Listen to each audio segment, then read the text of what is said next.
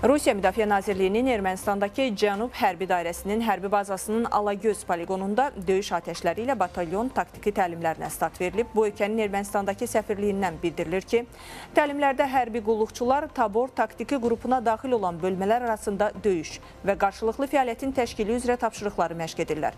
Diplomatik nümayəndəlikdən verilən məlumata görə təlimlərin birinci mərhələsində döyüş hazırlığının ən yüksək səviyyəyə çatdırılması, cəmləşmə zonasına yürüş, komanda məntəqələrinin yerləşdirilməsi və təchiz edilməsi, döyüş məntəqələrinin təşkili kimi tədbirlər həyata keçirilib.